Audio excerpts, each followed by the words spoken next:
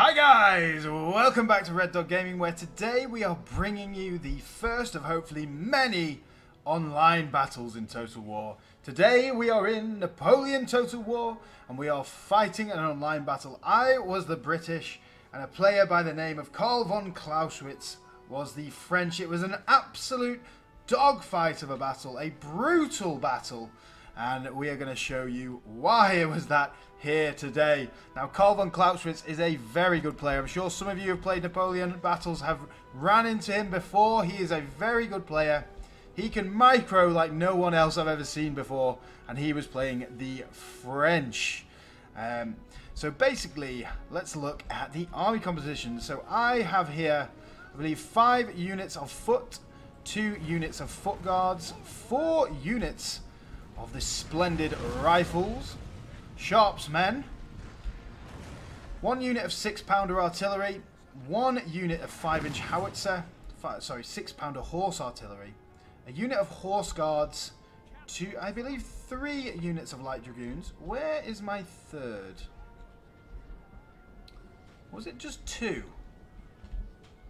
Just two units of light dragoons and a unit of uh, horse guards. And he has two units of six pounder artillery, as you can see, putting the pain down on my artillery early on already. Five units of Swiss foot, or four units of Swiss foot, one of Polish Legion, one of the Brave. Look at these guys. Brave men of France. Let's go. One unit of the glorious Young Guard and one unit of the most feared unit in the whole of Napoleon Total War Online, the gruesome Old Guard. Four units of Chasseur, uh, well no, actually two units of Chasseur and one of um, the, what do you call them, 6th Regiment, Regiment d'Infanterie Légère, 6th uh, Light Infantry Regiment. So basically, uh, as we can see here, my plan early on was to come and take this left flank and move here to move around and flank him and take this position while trying to hold the middle with as minimal troops as possible. And this plan works. It definitely works for the most part. But the problem with it is, it might work a little bit too good. Uh, too good in general. But he brings his chasseur à around on this flank. This was a great move by him. Uh, but I brought my cavalry in to support my infantry. Brought my cannons across, and I was a bit worried my cannons were going to get charged here. So, I saw him charging in. I was like, oh god, we're going to get killed. I'm going to move my dragoons out and put the foot into square. And we did that quite effectively. But the thing is with the Chasseur à Cheval, for their value, they are so strong. With this with this shooting formation, it is ridiculous. As you can see, I was trying to move this these guys around to shoot into their flanks. But I thought, I've got to go all out cavalry here. If I lose my cavalry, it's okay. We've got our guys in square. Get the, uh, get the rifles out, and that's it. And as you can see, he is doing pretty much nothing with the rest of this army. We are trading blows with our artillery, and it doesn't work on the part of me because he's on the back of this hill, and it's very hard for my artillery to hit him. Although we're up here on top of this hill, you can see already he's silenced two of my guns already which is crazy. So this artillery unit was a wasted money. It really did not do much during the battle. God, I love the effects of Napoleon. So I brought the rifles and the foot down here, another unit of foot, and another unit of foot and rifles over here. And I thought, you know, he's only got four units of foot and some of chasseur. So it's pretty much enough to hold this area if he wants to go for it. But over here, let's take a look back at the cavalry battle. You can see he was bringing these old guard and young guard up, and I was very worried about that, of course. So I decided to get my guys out um, and try and pound them with some canister shot. But as you can see, we are kind of stuck in between a rock and a hard place here, and I was bringing my infantry up. They didn't have much cavalry left, so I decided to go and destroy them. Look at that canister shot. Lovely. Let's watch these guys. Ah, they're dying before they can take the shot. As you can see, he put down the pound on my artillery. So that was one of the big issues that I had in this battle. My artillery got silenced pretty much straight away. As you can see, we're already down to one 5-inch howitzer. Or maybe I did have four cavalry. No, I'm pretty sure I only had three.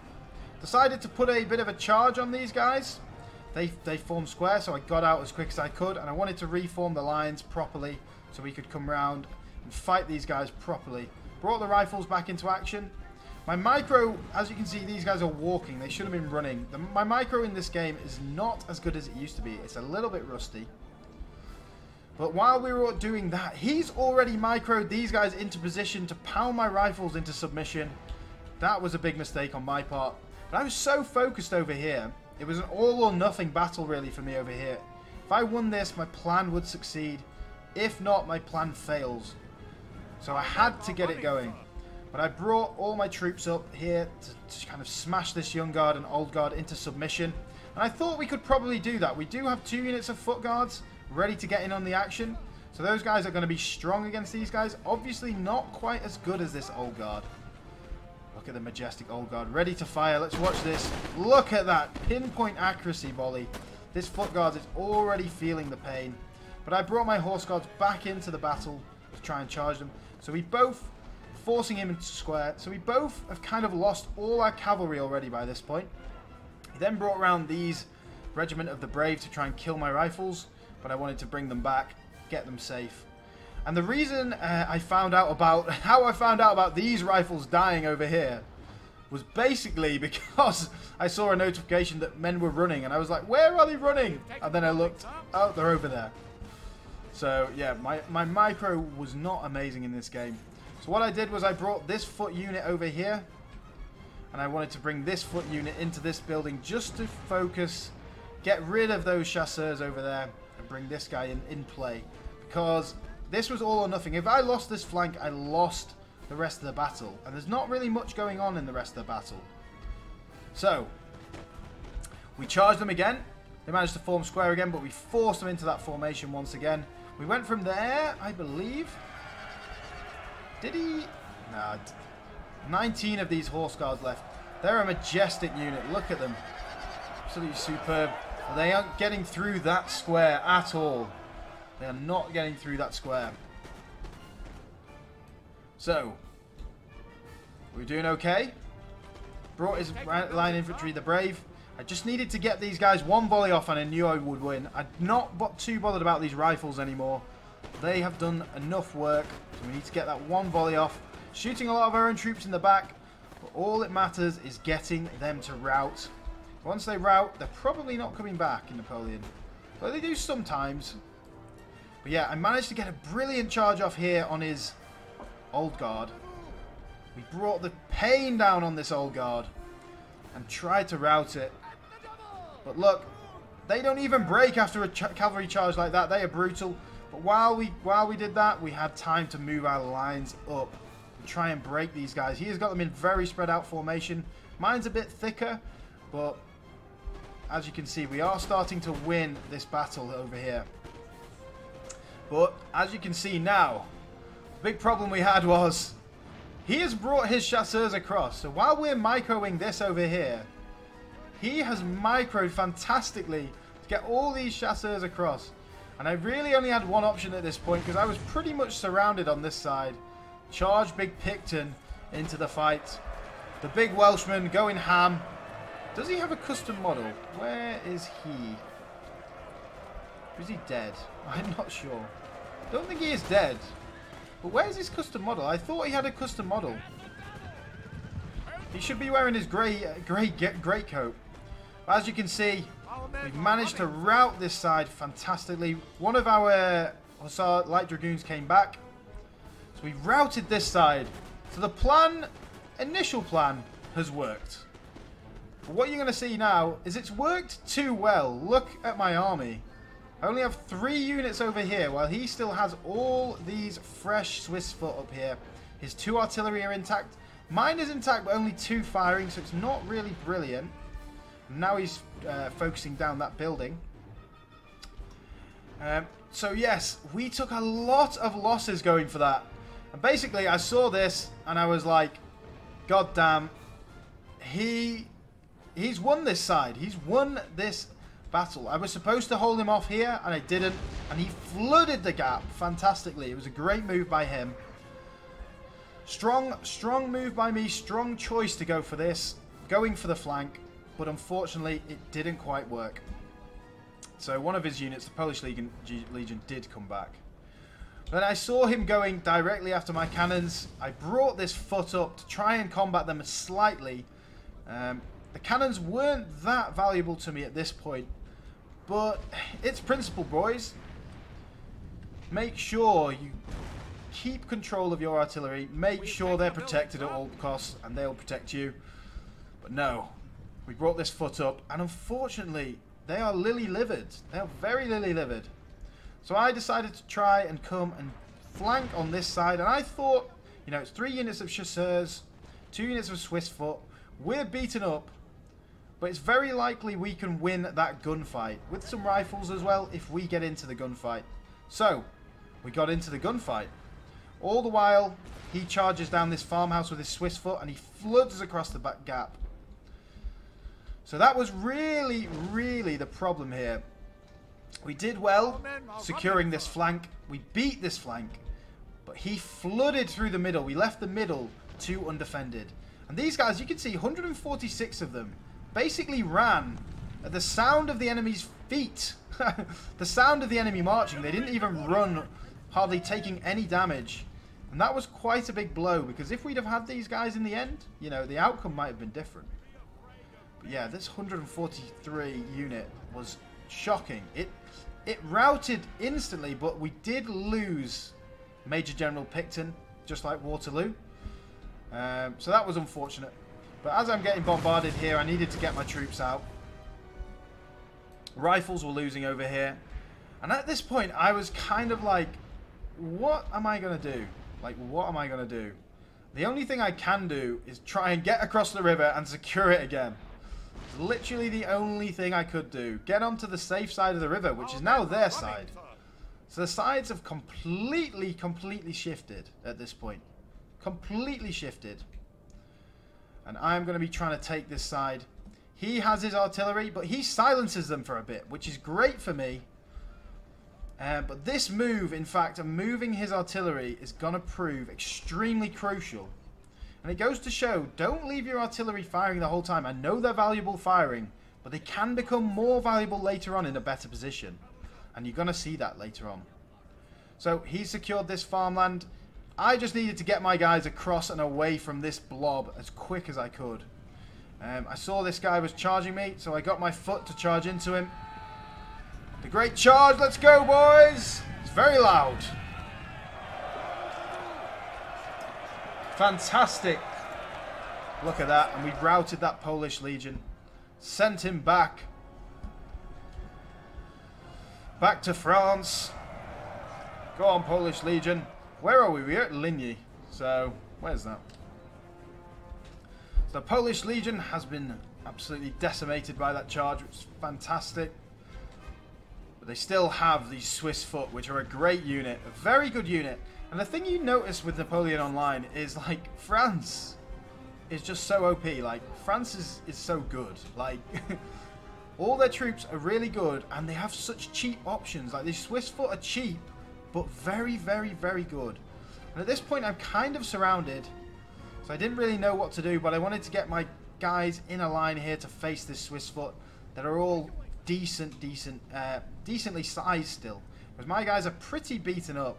But I thought we have a few units, so we should be able to do okay.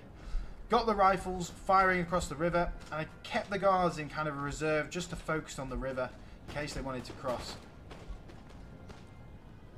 We got the first couple of volleys off, which was excellent. Look at this. Let's fire, boys. I probably should have spread these guys out a little bit more. You can see he's microing them even more. And it just goes to show you, this guy is a, a brilliant player, guys. Do not be afraid to, to over micro, I guess, I would say. That's what I've kind of learned. So I came forward, trying to put the pain down on these guys. We needed these guys to rout. Look at that. They have another 130 um, Swiss foot over here. Chasseur. Swiss foot. See, they have so many troops left. My troops are pretty beaten and battered up. Look at this guy, 60. But we're doing decent against these guys. Probably could have spread them out even more, and that would have helped. I like having a double line of troops, just in case... Well, there isn't any cavalry left. Cavalry's gone. Yeah, let's watch this line battle for a bit. Fire, boys! Fire! Men screaming in the background. Oh, God.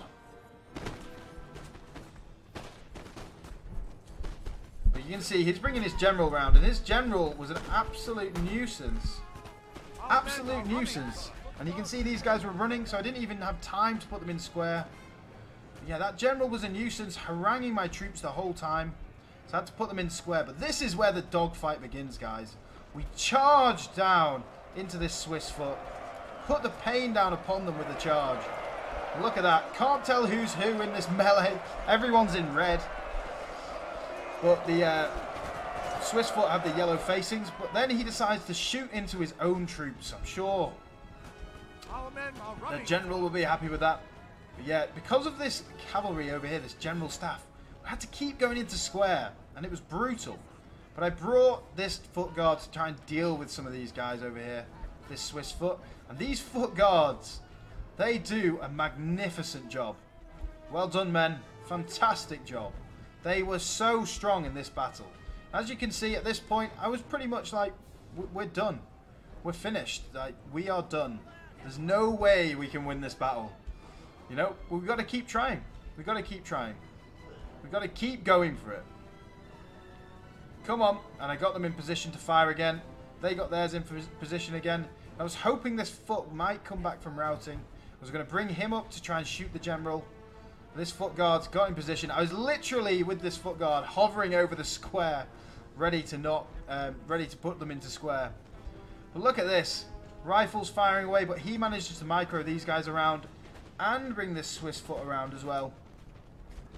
So I was really, really struggling at this point. There was not much I could do. We were getting surrounded on all fronts. See, he didn't even bring these guys across. I thought he was going to bum rush me across, but he didn't. Not yet, anyway. Yeah, look at that. Battering down this Swiss foot regiment. And he wants to bring these guys into melee, it seems like. So I wanted to oblige. So they started running. But he sends his artillery into action once again. Put these guys in square. Put these guys in square because the general staff started attacking. And square is actually a decent formation for here. Well, because he wants to go into melee and not shoot yet. It's good against their uh, general. As you can see, now he starts bringing these troops across the river. And it is basically game over at this point with, I'm thinking, goddamn, GG bro, GG. But it's not over yet. We run these guys away. I believe we charge. I believe I wanted them to charge, but they didn't charge. So then we charge them again, and then they actually do charge. The brutal charge of the guards, the foot guards. Let's go. They have 108, and this unit only has 86. And look at the damage that it does. It just wreaks havoc upon this Swiss foot regiment. He gets them in square, good defensive formation. We manage to wreak havoc upon him. Brutal. Look at that. Brutal charge. We've still got this uh, foot guards here though. And we keep having to cycle them in and out of square. They also have this Swiss foot as well.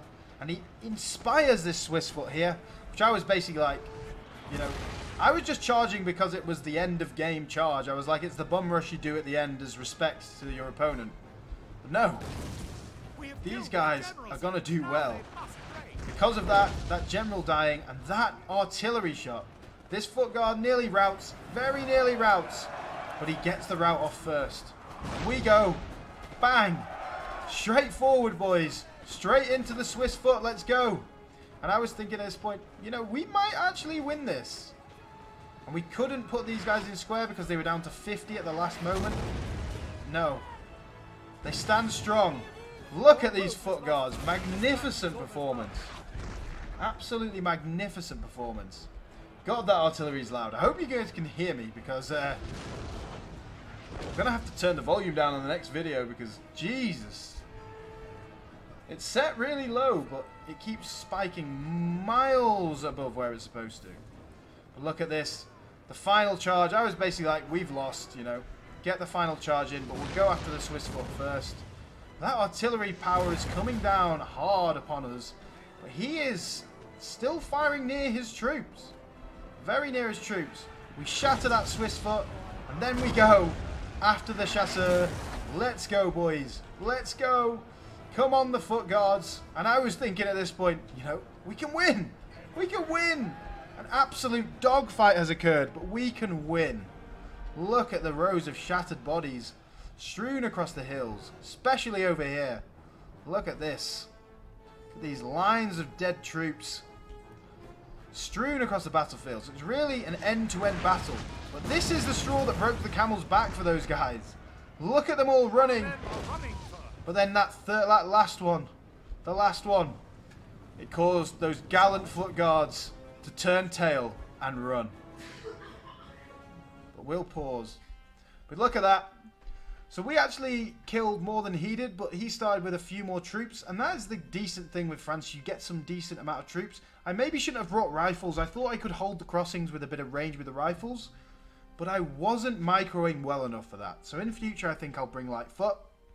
But yeah, what a dogfight, eh? What a dogfight. All the twists and turns of that battle. It was fantastic. Really good fun to be a part of. Carl von Clausewitz, great player, fantastic player. Really good, really good player. Great to play with and great to play against. So uh, if you ever get a chance to play him, do so. It'd be excellent. But yeah, guys, thank you very much for watching. If we can get a like on this video, that would be amazing. Let me know what you think of this video down in the comments below. That would be awesome as well.